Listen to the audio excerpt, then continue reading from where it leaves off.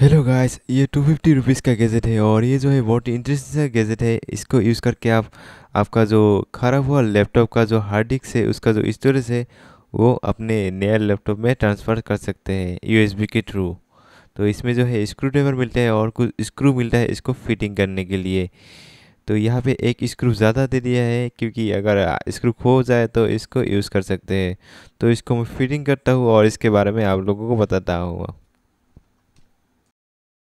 क्या होता है कि इसमें पुरानी लैपटॉप की हार्ड डिस्क को यूज़ करके एक एक्सटर्नल हार्ड डिस्क के रूप में यूज़ कर सकते हैं। तो मेरा जो लैपटॉप जो था, था लेनोवो का ये पूरी तरीके से उसका मदरबोर्ड ख़राब हो गया है। लेकिन उसका जो हार्ड डिस्क है ठीक है और इसमें सारे डाटा मेरे था जो भी वीडियो एडिटिंग सॉफ्टवेयर जो भी सामान इसमें ही था तो इसके डाटा को मैं कनेक्ट कर सकता हूँ इस लैपटॉप को खोल के। ले, लेकिन लैपटॉप को अगर खोलूँगा तो इसका जो वारंटी है सला जाएगा। तो ऐसे में मैं इसको यूएसबी के थ्रू कनेक्ट करने की करने करने का ही ऑप्शन है। तो ये जो डिवाइस है, इससे मैं इसको यूएसबी के थ्रू कनेक्ट कर सकता हूँ।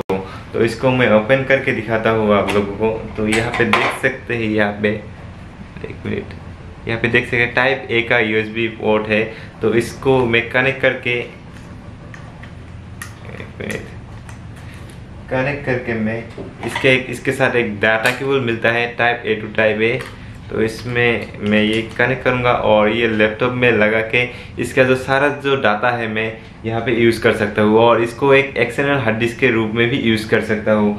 इसका जो वन टी का हार्ड डिस्क है तो इसका जो, इसमें जो भी इंपॉर्टेंट सामान है, इसमें रख सकता हूँ। तो ये टू फिफ्टी रुपीज़ का गैजेट है, बहुत ही इंटरेस्टिंग सा गैजेट है। आप भी इसको यूज़ कर सकते हैं। मैं डिस्क्रिप्शन में लिंक दे दूँगा, वहाँ से देख सकते हैं।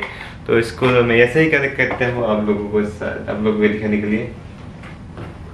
तो यहाँ पे मैं इस कीबोर्ड का हाथा देता हूँ।